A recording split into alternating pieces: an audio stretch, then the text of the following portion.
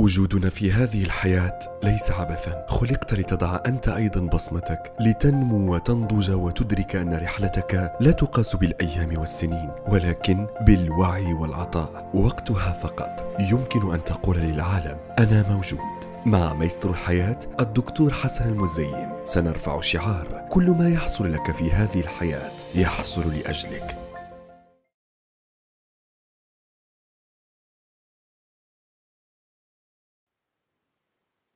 المرأة لا يمكن نتكلم من قلب الحياة من غير ما نتكلم عن المرأة القلب ارتباطه دائما بالمشاعر والحب والرومانسية والحنان والعطاء ودائما هذا برجعنا للمرأة بس أنا عندي سؤال في الحلقة هاي ما معنى كلمة امرأة؟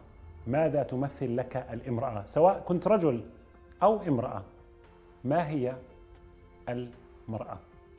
الجواب الطبيعي اللي ممكن كل الناس دائما تلجأ له إنه المرأة نصف المجتمع وتربي النصف الآخر وهي كائن جميل ومعطاء وحنان والأم والأخت وال...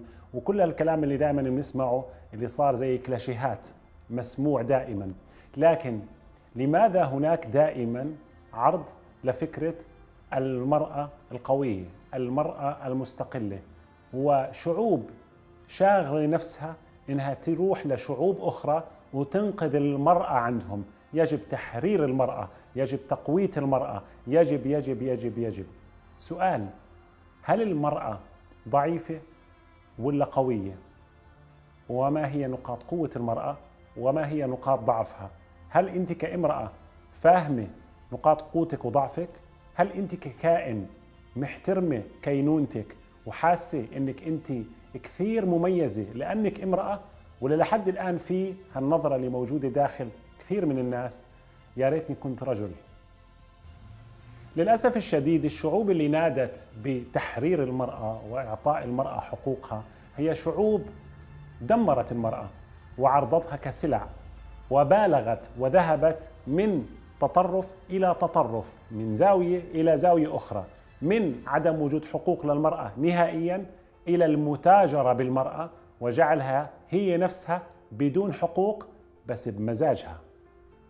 كلمة الحقوق لما تسمع هاي الكلمة فاعلم يقينا إنه حقوقك هي الأشياء التي تلزم لاكتمال هويتك، فإذا كنت أنا رجل فمن حقي إني أعبر عن صوتي، عن رأيي، من حقي إني أعمل، أشتغل، أجتهد، أطلع، أجد، أتزوج، أصرف على أولادي، أحس بالأمان وأحمي عيلتي لكن إذا كنت امرأة ما هي حقوقك؟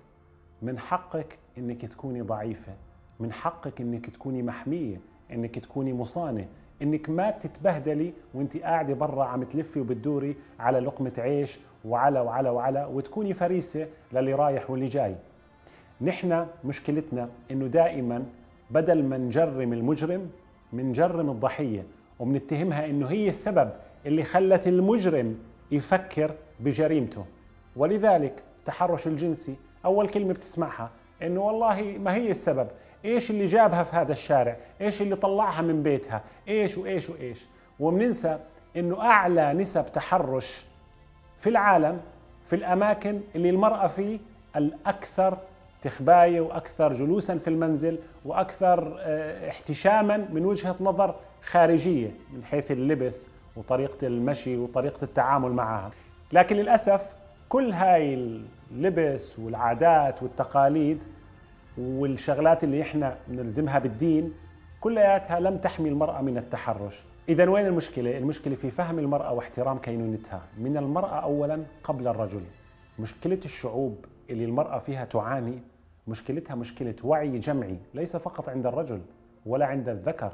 ولكن عند المرأة والأنثى لأنه مرات المرأة في محاولتها للوصول إلى حقوقها تنهي طاقتها الأنثوية وتصبح أكثر رجولة وتصبح أكثر ذكورة تصير عندها طاقة الذكورة عالية. ولذلك في النهاية تصبح مثال سيء. بيجي إنسان بيحكي لك هاي مش مرة هاي رجال. وأنا ياما سمعت في استشارات دكتور أنا مرتي في البيت ما هياش مرة هي رجال أنا حاس حالي متجوز رجال. هذا الموضوع هو اللي بيخليه أو اللي بيسببه وعي جمعي وخطأ من مجتمع بأكمله. لم يحترم أحد المرأة كما احترمتها الأديان وقدرتها وأعطتها حقها بالتساوي مع الرجل لكن هاي المساواة ليست إشارة يساوي. هاي المساواة هي احترام لحقوق المرأة وهي الأشياء التي تلزم للإحساس بكينونتها. مش إنه لازم تلعب كرة قدم زي الرجل ولازم آه، تطلع تشتغل كل الشغلات اللي بيعملها الرجل. لا إلها احترامها الخاص بناء على قدراتها وما يلزمها لتحقيق هويتها كامرأة. في علم الطاقة بيحكوا على اليين واليانغ وبيحكوا إنه طاقة ذكورة وطاقة أنوثة. المرأة حتى تصل إلى التوازن لازم تكون 70 ل 80% أنوثة كطاقة.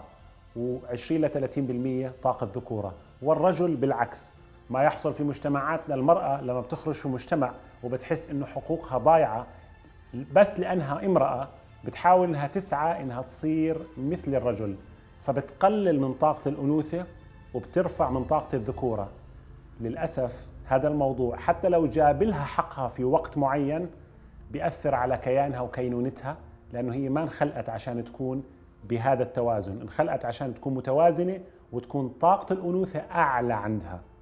وبالجهة المقابلة لو المرأة طاقة الأنوثة كانت عندها طاغية مية بالمية فأيضا هذا بعيد عن التوازن وبيخليها إنسانة دلوعة ماسخة مش عارفة تتعامل في الحياة. وكل الناس بتطلعوا عليها على إنه هي إنسانة ما إلها أي دور في الحياة.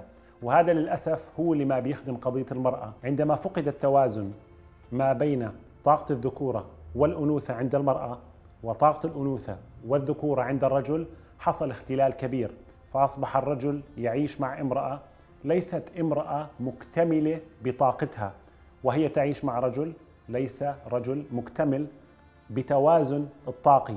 وبالتالي هو بده يعوض وهي بدها تعوض فبتلاقيه هي صارت أقرب لرجل أو هو صار رجل قاسي جدا أو أقرب لأنه تكون صفاته الأنثوية عالية جدا. حساس وسلبي وجالس في البيت وما بده يتحرك وما بتدخل لما أهله يهجموا عليها أو يتكلموا عليها. سلبي بكل ما تعني الكلمة من معنى. كثير في برامج التدريبية بنعلم الناس وبنخليهم يعملوا تيست يفحصوا قديش عندك طاقة ذكورة وقديش عندك طاقة أنوثة.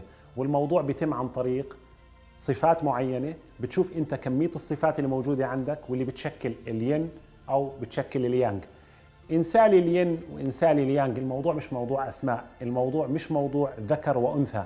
الموضوع موضوع توازن. لأنه ربنا لما خلقنا خلقنا وخلق فينا التناقضات. زي ما بنحب بنكره زي ما بنعصب بنهدى زي ما بنفرح بنزعل وبالتالي لازم يكون في عنا توازن. لكن الرجل لازم يكون 80% طاقة ذكورة 20% طاقة أنوثة. والمرأة 80% طاقة أنوثة و20% طاقة ذكورة. والصفات الجسدية لكل منهما مناسبة لهذا التوازن. لذلك كثير أنا دائما بنصح الناس أنه لازم تعي وتفهم صفاتها حتى توصل للتوازن. وهذا التوازن بيمنع الانهيارات العصبية والشعور الدائم بأني ضحية وأنه المجتمع كله ضدي وأنه أنا مش مميزة ويا ريتني رجل وكل هالكلام. المحصلة المرأة جزء أساسي من المجتمع نصف المجتمع وهذا نحن متفقين عليه شئت أم أبيت هي النصف أساسي من المجتمع. لكن رسالتنا اليوم من قلب الحياة من المشاكل اللي أنا بشوفها وبتجيني يوميا عليك يا امرأة أن تكتشفي أنه أجمل ما في قوتك هو ضعفك. الضعف هو اللي يحرك مشاعر الرجل الرجل الحقيقي. نحن لا نتكلم عن الاستثناءات. أي رجل يتحرك عندما يرى المرأة تعيش كامل طاقتها الأنوثية وتوازنها مع الطاقة الرجولية. لا يوجد رجل عظيم من غير امرأة وهذه الامرأة هي امرأة تحملت صبرت احتوت أعطت عاطفة وسترت بيته وسترت عرضه وفي نفس الوقت كانت بالنسبة له سند وأعطته قوة أنه يندفع للأمام. هذا الكلام مش رومانسي ولا كلام عاطفي هذا الكلام موجود في الحياة بشكل كبير. عندما تتوازن المرأة طبيعي أنه الرجل مع الفترة يتوازن وعندما يتوازن الرجل طبيعي أنه مع فترة المرأة أيضا تتوازن. الموضوع بحاجة لوقت وصبر وفهم وإدراك ووعي. ودائما نحن بنحكي خلقنا لنتعلم فنتأقلم لم نخلق لنتألم. تحية لكل امرأة وعلى رأسهم أمي الله يرحمها. كنتم مع مايسترو الحياة الدكتور حسن المزيد تابعونا على حساباتنا بمواقع التواصل الاجتماعي.